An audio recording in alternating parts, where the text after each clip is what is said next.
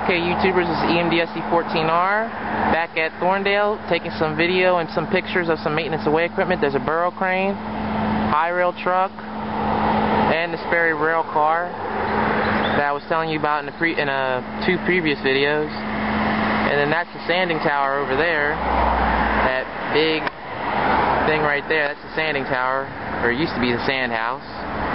But uh, you know, everything's behind a fence here. As you can see, we got a high road, we got a burro crane over here, Amtrak burro crane, we got a Chevy high railer, and then we got the Sperry rail car over here. I've seen this one a lot. I like that car.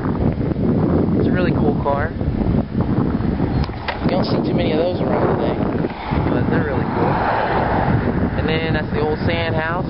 And then that right way there is the Brandt power mover that I saw on the highway. I'm not going to actually go in there because I don't want to be trespassing, so well, that's my car over there. That's my car. But uh, I think they got a crane behind that one too, but I'm not really sure. I like that car though. I'm trying to find one of those in HO scale, but I'm not really sure. I think they got a rail crane behind that one. They got a rail crane.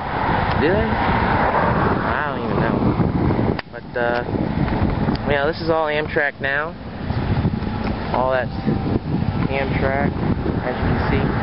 But, uh, behind the fence right here.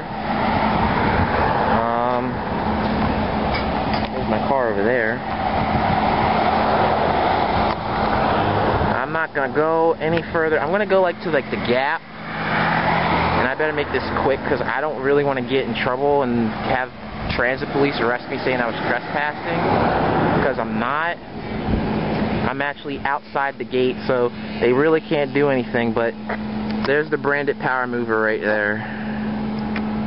That thing I saw on the highway. That thing is a beast, and I this is the only one I've seen in this area, but I know CSX has a few. But it's it's a I think it's a Peter yeah it's a Peterbilt and it's oh Amtrak owns it so that's that's even better. That's a Brandt power mover. So I'm just gonna stay right here because I'm not gonna get in no trouble with the authorities. I don't need that. But uh, I wanted to show you that we do have a Brandt power mover. I think it's a heavy duty one, but it's really cool. So I'll see you guys later, alright? More action on the Harrisburg line and other locations coming near you from Wells, uh, from Wells Railroad Video Productions. Peace, y'all.